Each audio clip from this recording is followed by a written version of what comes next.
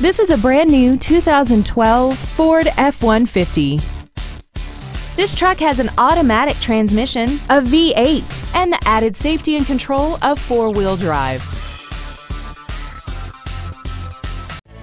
Dave Sinclair Ford is located at 7466 Lindbergh Boulevard in St. Louis. Our goal is to exceed all of your expectations to ensure that you'll return for future visits.